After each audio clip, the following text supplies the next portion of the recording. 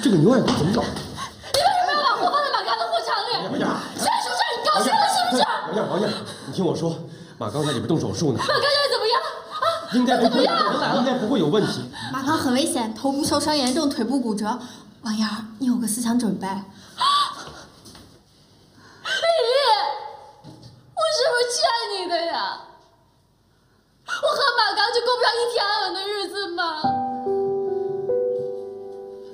王燕儿，对不起。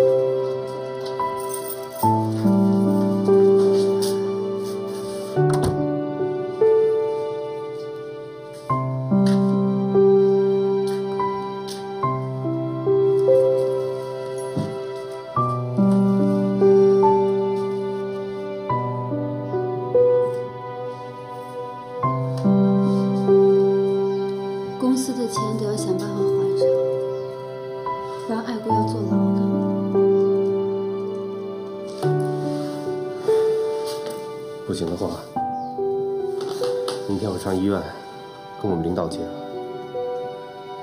然后让丽华去找爱国去，不信找不着他。等这事完了以后啊，让他们俩回老家吧。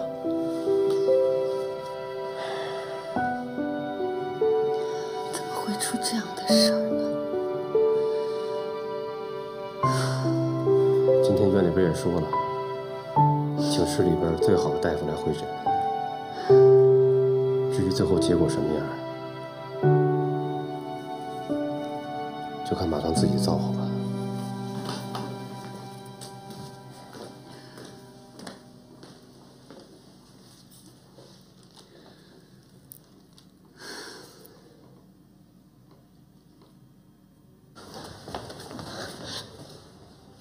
真的有这么严重吗？情况不乐观，脑部留有淤血，最好的结果是断一条腿，如果严重的话，可能会成为植物人。我们明天啊，准备给他进行开颅手术，你最好还是进去看看他。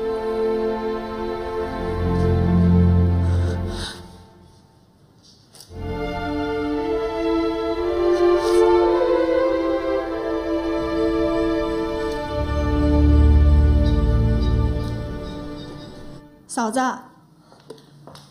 我给你炖的鸡汤，喝一点补补身子吧。找到爱国了吗？没有，该找的地方都找了，可一点线索也没有。嫂子，我求你千万别去报案。我哥今天已经去借钱了，我自己也攒了一点私房钱，你先还给公司吧。李华，这钱你拿回去吧。如果你真想救爱国的话，就一定要把他找回来。嫂子，你放心，我一定能找到他。你的大恩大德，我会永远记着的。行了，什么都别说了，去找他吧。好，那我现在就去。鸡汤记得喝啊！我先走了。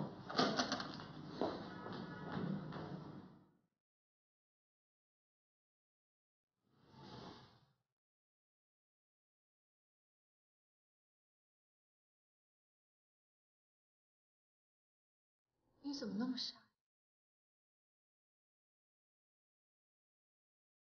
你答应过我不跟李丽接触的，你怎么总骗人啊？人家李丽现在都嫁人了，你怎么还处处为她着想呢？连自己的命都不要了。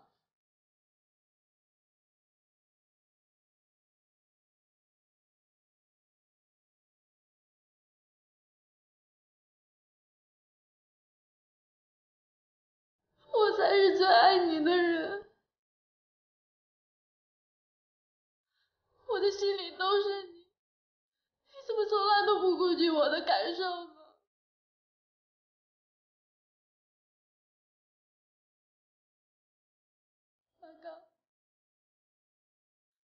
你要是有个什么三长两短你要是有个什么事我可怎么办啊？你不能这么狠心的把我给抛下。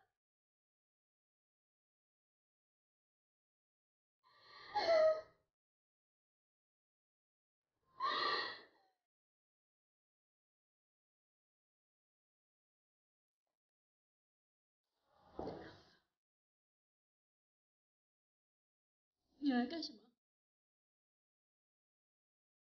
我听说马刚要做开颅手术，我准备了点钱，来看看他。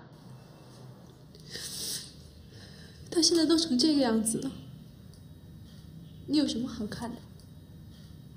你看的他也不知道。如果你觉得心里有愧的话，你就离我们远点儿。王燕儿，对不起，你把我们家里都害成这个样子，你还嫌不够吗？对不起。我告诉你，李丽，要不是因为你，马刚不会变成这个样子的。我不需要你的钱，也不需要你的关心。你走吧。